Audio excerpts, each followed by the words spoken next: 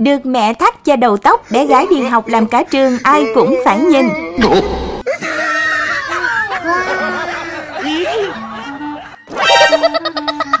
Theo đó cũng là đi học bình thường như người ta Tuy nhiên bé gái lại được mẹ của mình thắt cho đầu tóc vô cùng độc lạ Làm cả trường ai ai cũng phải trầm trồ Ngoái nhìn cho bằng được rồi mới chịu rời mắt bước đi từ những gì quay lại cho thấy, bé gái tiểu học trông nổi bật hơn hẳn nhờ quả đầu hình ngôi sao năm cánh.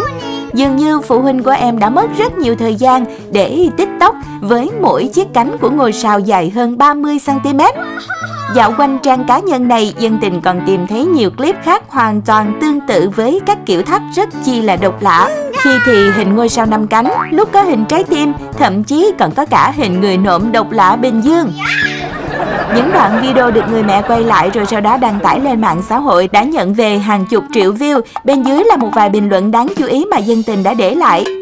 Quả đầu này gắn thêm đèn nữa là đi chơi trung thu coi bộ ok á. Con bé có bà mẹ sáng tạo thiệt, mỗi ngày một kiểu tóc thì nổi nhất trường luôn. Mình cột một sợi thun thôi đã thấy nhức đầu xem clip này của bé mà giật tưng tưng luôn. Cảm ơn các bạn đã theo dõi tin nhanh 3 phút. Nhớ nhấn đăng ký kênh để cập nhật thêm nhiều tin mới mỗi ngày nhé.